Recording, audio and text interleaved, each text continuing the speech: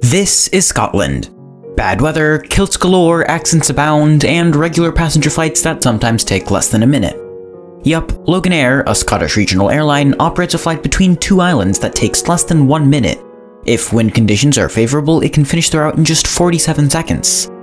Why do they operate this? And how much does it cost?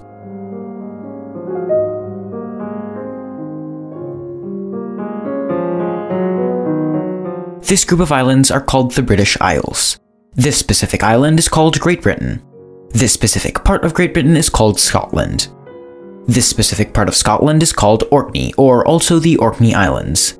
It's in the Orkney Islands where this extremely short passenger flight takes place, specifically between these two islands, Westray and Papa Westray. Both of these islands are relatively small and accordingly have small populations. Westray only has a population of 588 people, and Papa Westray only has a population of 90 people.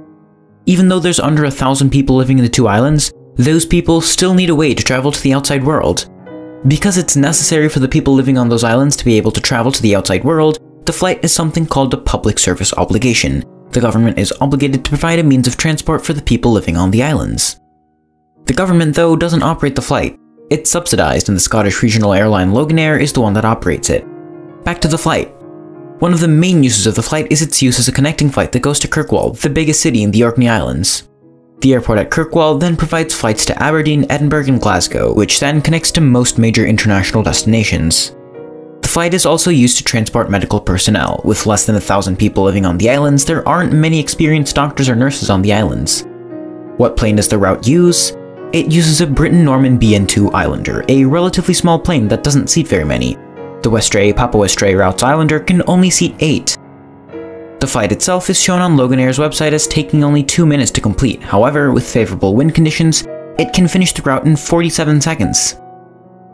On the Loganair website, the cost of a ticket starts at £17, or about 23 US dollars.